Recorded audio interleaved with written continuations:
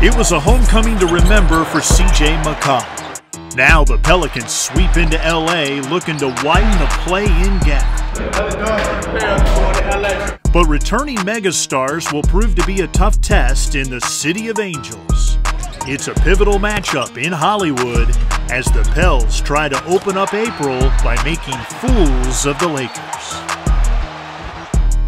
The Pelicans are soaring down the home stretch with the postseason in mind. Winners of five of the last seven and playing their best basketball of the season at the most important time. It's a game so big, it is a marquee event tonight near Hollywood. How about that? Pelicans and Lakers. CJ McCollum has been on fire since becoming a Pelican, shining the brightest under the brightest of lights. And how about the always styling and profiling Brandon Ingram returning to La La Land after his highest scoring month of his career? And how about JV Valanciunas? One double double away from 50 on the season as we catch it town to tip off next on Bally Sports. With six games to play, the magic number to clinch a play in game is four. The Pelicans with a commanding two game lead over both the Lakers and the Spurs, and a win tonight might be the final knockout punch for LeBron James and the Lakers. We welcome you in to Pelicans Live, presented by FanDuel Sportsbook. And guess what? This is not an April Fool's joke. Ric Renner in for Erin Hartigan, who has the day off, and I'm here with Mr. Entertainment, David Wesley. And David, what a way to start off the weekend! This is just an unbelievable game tonight. You can really sense the anticipation on both sides of the floor. Absolutely, and I and I hope the Pelicans aren't looking at the at the standings because they still have work to do, and they need to look forward, not behind them. They need they can't take any nights off, and they got to come out here and, and play their best basketball. Whether LeBron plays or AD plays or whoever's out there, they got to come out focused and ready to play. Yeah, we'll talk about that in just a moment. Let's bring in the very talkative and the handsome Antonio Daniels, who comes at us from Los Angeles. AD, you've been a part of many returns in your career to former cities that you played in. Was it anything like what CJ McCollum went through in Portland the other night? I mean, that was pretty amazing. No, it, it was amazing. Um, and you see different uh, times and opportunities where guys return to their previous destinations where they played a legitimate amount of time in their career. And I'm going to be honest, and I'm not saying this with any bias whatsoever. I've never seen the standing ovation like that. CJ was a great player, very loved on the court and off the court there. Now, looking at that game, it was interesting that the Pelicans were able to pull off the victory despite no outside shooting in that game. They did it with unbelievable, suffocating defense, David. And that's a big part of their identity is their defense, and they know when they play that kind of defense, they are going to give themselves a chance every single night. Sometimes it feels like you're shooting a basketball. Sometimes it feels like you're shooting a golf ball. Sometimes it feels like you're shooting a football. But with all that being said, your defense eh, and your defensive effort must remain. And that's what kept the Pelicans in that game and eventually end up winning that game for the Pelicans. AD, what a huge matchup. This is a second matchup with the LA Lakers in less than a week now. The Pelicans in rarefied air where they could actually sweep the Pelicans in the season, which is pretty darn impressive. First time for that in four or five years. Uh, but looking back at that game on Sunday, New Orleans was able to overcome a 23 point deficit, one of the largest deficits they've ever done in franchise history. LeBron scores 39, he gets hurt, still not enough. We know that LeBron James will play tonight along with AD, the other AD. So, AD, I got to ask you, I know it's a very complicated question. What in the world has gone wrong with the Lakers this year as they're holding on now by a thread to make a playing game? I, I don't, I'm going to be honest with you, Ric, I don't, I don't think it's a complicated question. I don't think it's a complicated question. The NBA is about chemistry, camaraderie, and fit. That's it. It's not about the names on the back of the jerseys. It must be April Fool's Day. You guys are agreeing. Oh, we agree. We think we think the game a lot oh, alike. We always agree. yeah. As I say, we always agree.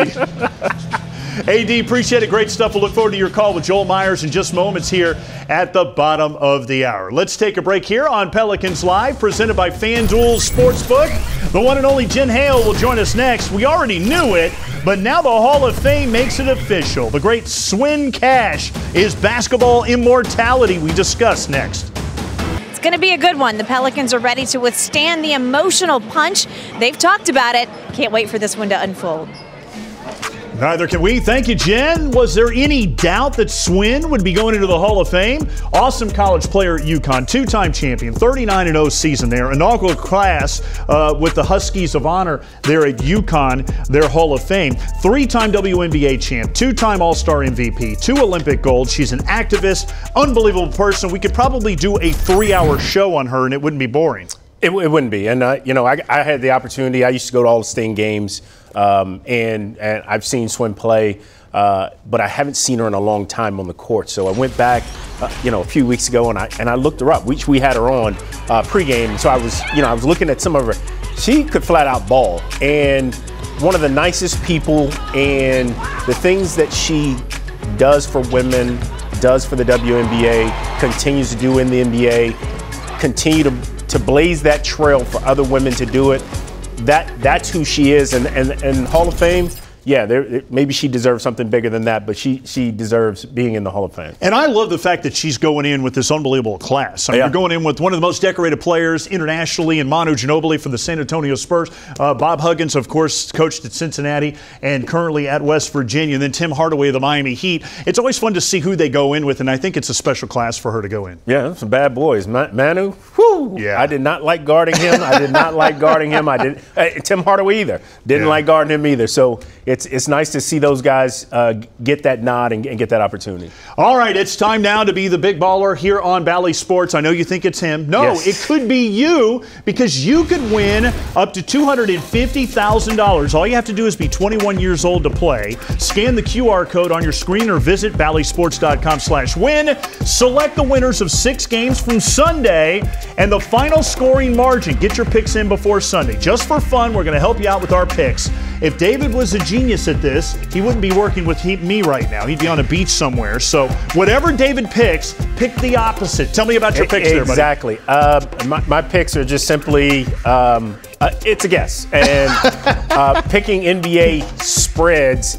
Uh, is is is difficult. If I could do it, I'd probably be working in Vegas somewhere. So, you know, I I I please don't copy this.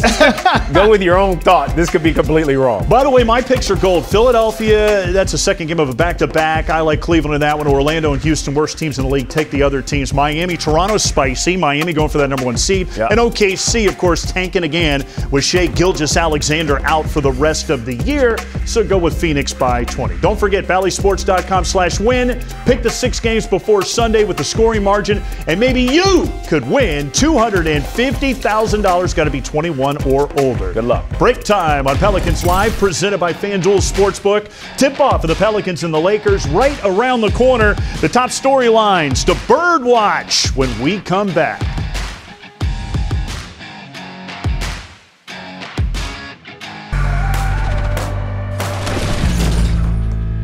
Break up the New Orleans Pelicans' sixth win in the last eight games to solidify a play in spot. Very physical game for LeBron James and company. Jaxson Hayes with authority. Wow, this is basically a knockout punch. Nothing easy for LeBron. 77 points in the last two games against the Pelicans and two losses.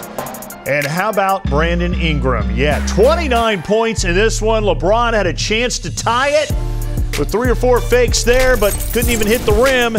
And the Pelicans are sitting pretty in that play in postseason spot with five games to play. Willie Green is pumped.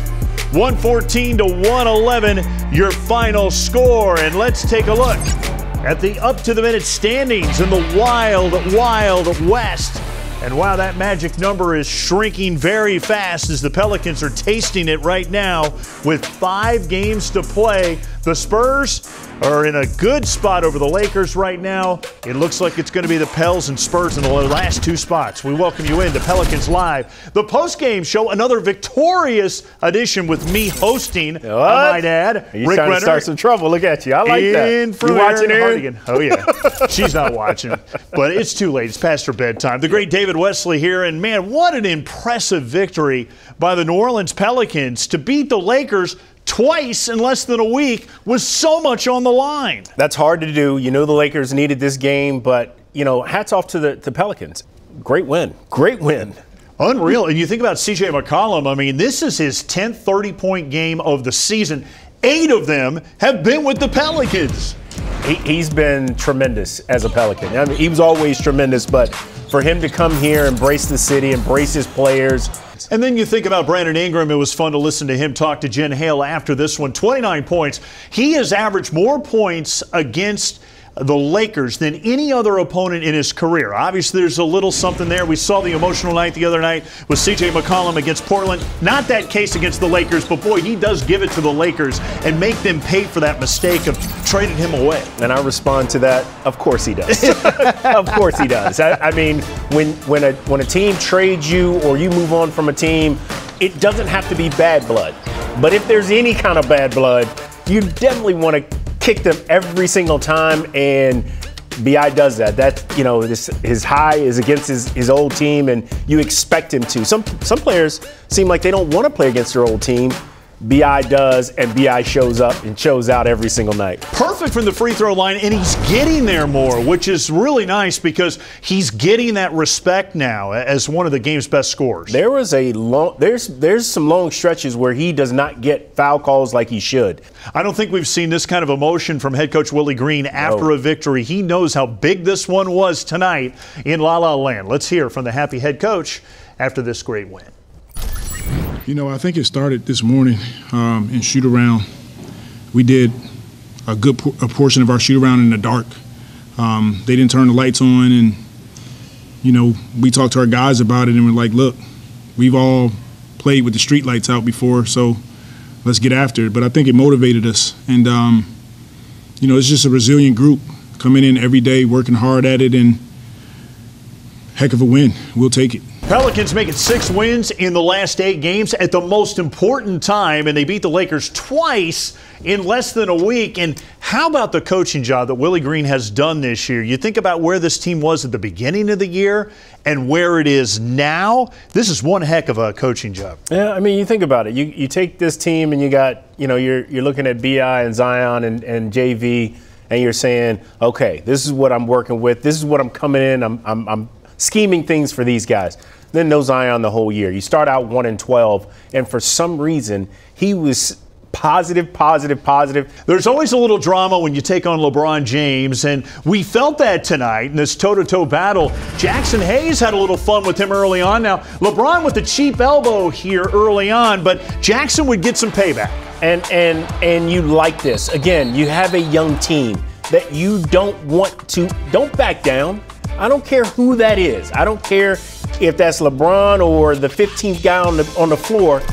You want your guys to step up. Those are playoff situations and he handled it like a playoff. You got me, I got you back. And I enjoyed the theater with Russell Westbrook and the bench and oh, Jose oh, Alvarado. I mean, that's just Russell Westbrook. Right. But, but, but, you know, you look at LeBron too. I mean, he's a good actor. He'll give you some theater. Oh yeah. I mean, oh, Brandon yeah. Ingram barely touches him, touches the ball. He goes down like someone shot, shot him. him. Yes, and, and, Westbrook hadn't hit a shot all night. I think he was one of seven. He hits two threes and he starts barking at the bench. You're like, dude, you just started playing. Why, why are you so animated now? Anthony Davis, 23 points, 12 rebounds, six assists in this one. This is the first time he's ever lost to the Pelicans. He was 5 0 coming into this game. First game for him in 18 games. Uh, there was some rust there, uh, but the Pelicans did a nice job on you. You know, I was talking about guys sometimes they don't want to play against their old team. AD seems like he doesn't play a lot of the games when he when he plays against the Pelicans. And so, uh, but tonight, after being out since February 18th, I believe it was, like he never missed a beat. I mean, he you know, this jump shot was working for the most part. He was able to score the ball. He was efficient. Um, he got to the free throw line. He still had his 12 rebounds, so a double double right out the gate. They need him on the floor uh, if they plan to do anything in way of trying to catch back up to uh, either the Spurs or, or the Pelicans. Um, but I, I, don't know. I, he, he tremendous talented guys out there. Westbrook looks like he doesn't belong at all, which is weird. which is weird. This is a triple double king, yeah. and it looks like sometimes it's his first time handling a basketball. That that chemistry is just not there. Yeah, you look at it, you think the Lakers, I mean, you might put a knife in them right now. They got to finish with the Nuggets mm. at Phoenix, Golden State, OKC, and Denver again. Yeah. And, and they got to hope the Spurs lose. I mean, if they have a chance, who have the tiebreaker against them, they could be over. And, and that's why you like where the Pelicans are. You, you don't have to hope somebody else loses. You don't have to hope, you know, somebody's playing bad. All you have to do is handle your own business. And, and uh, I think the Lakers are in big trouble. I think the Spurs will be that 10th place spot. And with that schedule, no chance. Let's take a time out here on Pelicans Live, brought to you by your Toyota dealers. More reaction from the City of Angels in a marquee matchup with the Lakers and Pels if you keep it where it is.